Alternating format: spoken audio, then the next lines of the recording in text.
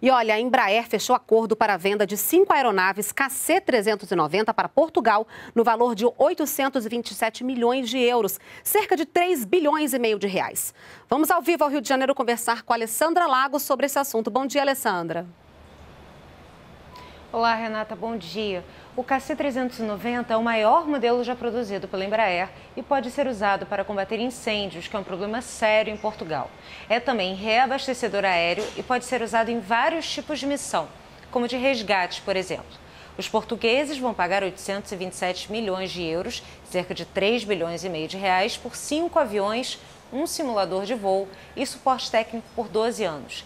As entregas estão programadas para começar em 2023. A venda abre um mercado estratégico para esse modelo de aeronave.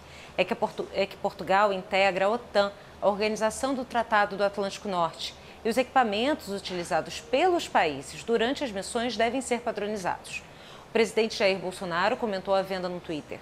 Disse que as aeronaves são exemplos de tecnologia de ponta que se produz no Brasil. Renata.